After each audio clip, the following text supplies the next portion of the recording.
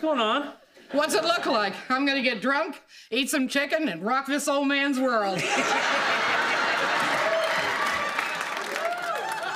I got 10 fingers and a billion dollars, and this guy's getting more action than me. What now, Walden? Nothing. I just wanted to say hi. Sweetheart, listen to me. We're getting divorced. You need to get some friends, get a life. I don't want friends. I don't want a life. I just want you.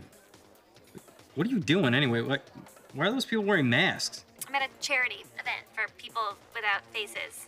Are you at an orgy? Orgy? Don't be ridiculous. What kind of charity has an orgy? Bye. You know, a real gentleman would have taken his poop before he came over.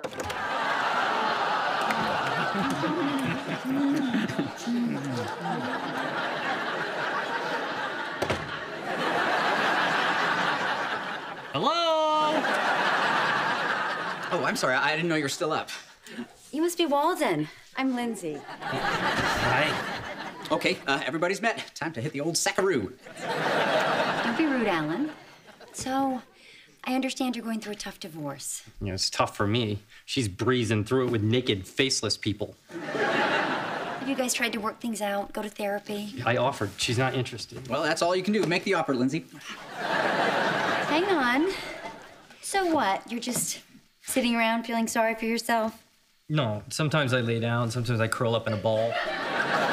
See? He's fine. Listen to me. We just met. We don't know each other, but you obviously have a lot going for you.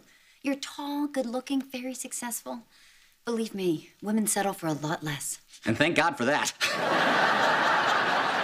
You need to get out there and find somebody who appreciates all that you have to offer. I don't want anybody else. That's just because you haven't found that special someone. Believe me, somewhere out there is a perfect girl for you. Who knows? She could be sitting right in front of you. See, I like to believe that. So would I.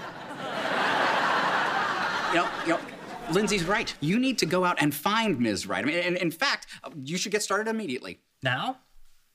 No, I was just gonna curl up in a ball. Oh, come on. There's a great big wide world out there full of beautiful, exciting, sexy people. Where am I gonna find them? A bar? I am not going to a bar. Hey, if you're looking for honey, you gotta go where the bees are. Buzz. Forget it. I am not going to a bar. Hey, Slick. Where do you keep the plunger? I am going to a bar.